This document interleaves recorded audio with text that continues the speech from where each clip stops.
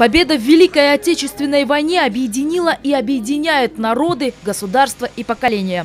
Общая история богата героями и подвигами, а цель эстафеты – воспитать достойные героев поколения, быть благодарными ветеранам за их великую победу.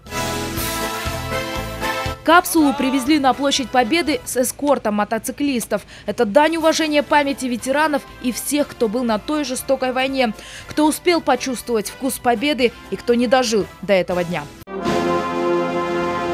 Вот она, капсула. Именно в ней попадет частица вечного огня из Кыргызстана в Санкт-Петербург. Акция «Эстафета памяти» уже состоялась в Молдавии, Беларуси, Азербайджане, теперь и в Кыргызстане. В общем, в ней примут участие 11 стран СНГ. Кыргызстан стал пятой страной, принимающей эстафету. В список вошла уже и Армения.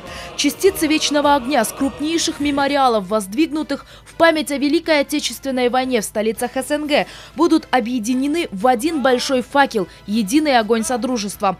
Он передан в филиал Государственного музея истории Санкт-Петербурга Петербурга. Монумент героическим защитникам Ленинграда.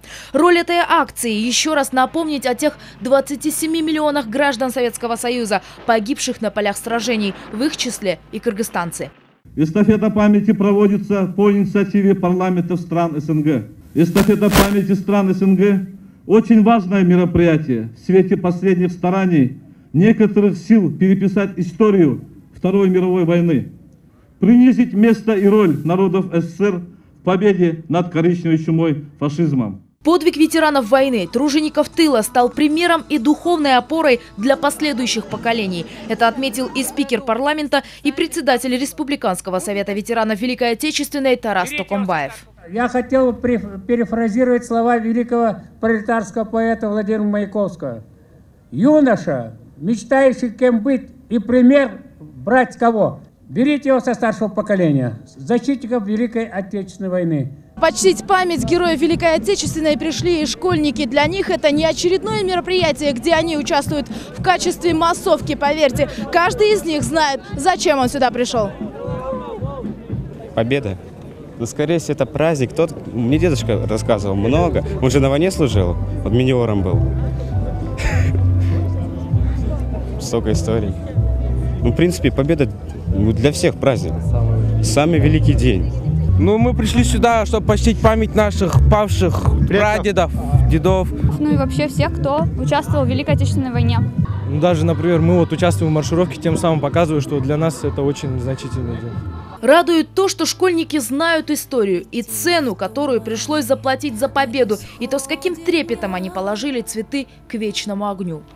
И в том строю есть промежуток малый Быть может, это место для меня память об ушедших героях после возложения цветов к вечному огню была организована акция «Зеленая волна».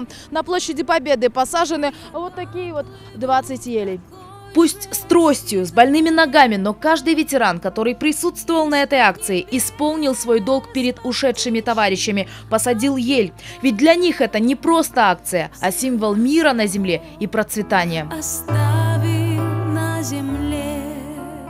И пока наша земля крутится, мы будем помнить о тех, кто не вернулся полей сражений. Ветераны из северной столицы России посетили и мемориальный комплекс Атабеит, возложили цветы к могиле Чингиза Айтматова и мемориальному комплексу блокадникам Ленинграда и кыргызстанцам, воспитавшим детей ленинградцев, эвакуированных в Кыргызстан в 1942 году. Спасибо большое. Спасибо. «Воины Победы» книгу с таким названием гости вручили спикеру на встрече. Хочется сказать уважаемые наши ветераны, увидев вас, вот, низкий вам поклон от имени всех, кто сегодня здесь сидит, от имени того поколения кыргызстанцев, которое сегодня живет под мирным небом. Мы много должны были сделать, предстоит еще много сделать, но главное сегодня мы должны вот эту веру, вот эту надежду и вот это отношение к Дню Победы, к памяти, ну, сделать достоянием и нормой жизни нашей молодежи. Делегация из северной столицы России увезла капсулу на место назначения, точку общего сбора частиц огней из стран СНГ. Священный День Победы и эта акция в рамках 70-летия сближает народы и призывает к самым высоким нравственным поступкам. Как отметили участники мероприятия, акция памяти дает возможность еще раз поклониться тем, кто подарил нам свободу жить, трудиться, радоваться и творить. Ширина Санакунова, Алмаз Нурманбетов, Общественный первый канал. Итоги недели.